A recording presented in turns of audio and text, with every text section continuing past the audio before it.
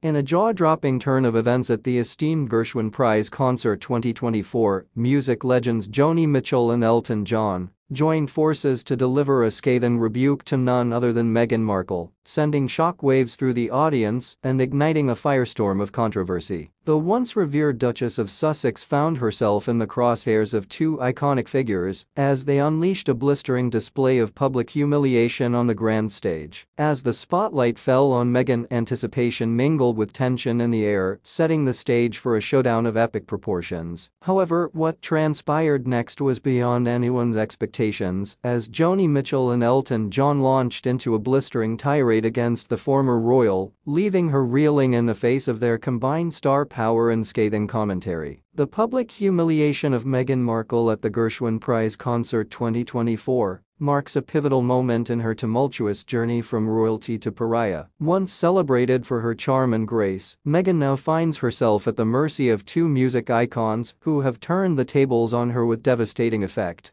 exposing her to a wave of criticism and scorn that threatens to engulf her once gilded reputation. Critics and detractors of Meghan Markle have seized upon this latest incident as proof of her alleged arrogance and sense of entitlement, painting her as a target of ridicule and disdain. The merciless attack by Joni Mitchell and Elton John has laid bare the deep-seated animosity towards Meghan, casting her in a harsh light that may be difficult to shake off. Social media platforms have erupted in a frenzy of debate and speculation following Meghan's public humiliation at the Gershwin Prize Concert 2024. Supporters of the Duchess have rushed to her defense, citing her philanthropic efforts and advocacy work as reasons to overlook the scathing critique she faced on stage. However, the overwhelming negative response from the audience suggests that Meghan's fall from grace is swift and unforgiving. As the fallout from the concert concert continues to reverberate across the internet and beyond, one thing is clear. Meghan Markle's image has been irreparably damaged by this latest debacle. The public's visceral reaction to her public shaming at the hands of Joni Mitchell and Elton John